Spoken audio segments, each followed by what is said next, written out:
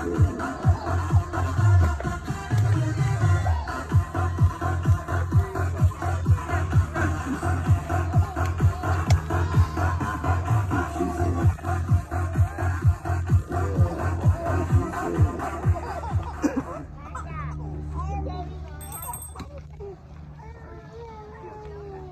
then I was like, free at nine o'clock yet?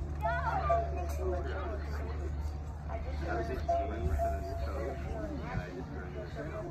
Like, what's the deal? I was